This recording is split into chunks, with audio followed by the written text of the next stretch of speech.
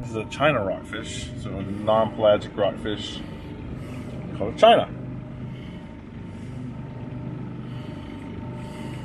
Cool. Kind of looks like a dragon, doesn't it? These little things on the head.